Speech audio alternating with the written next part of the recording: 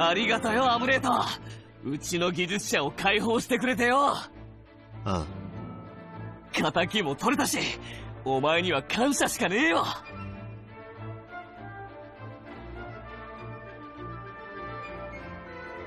皇帝まではまだ遠いな。君が想定していたよりも時間がかかっている。外に引きずり出すには厄介なのが残っているからな。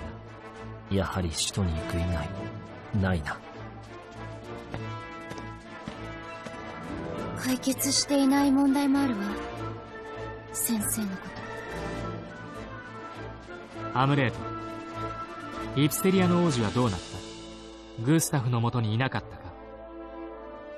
わからない。少なくとも戦場では。会っていない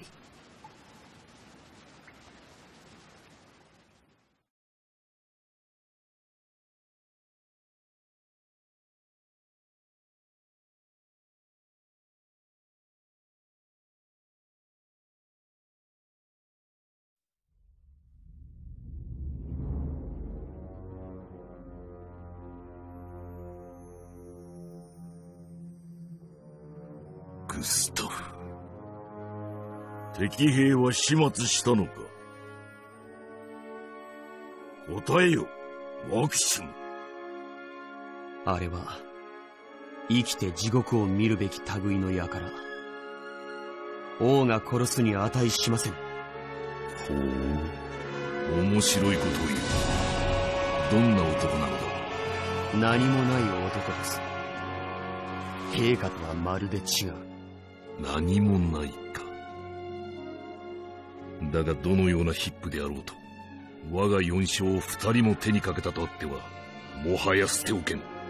必ずや始末せよ貴様自身が手を下せぬならば兵に命じろ。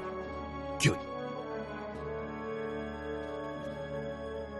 意陛下ユトランドはグスタフを倒したことでさらに勢いをつけるでしょうグスタフは無念だったがユトランドの注意がアバルーネに向いているこの間にコバロティスはユトランド攻略のための配備を完了しております。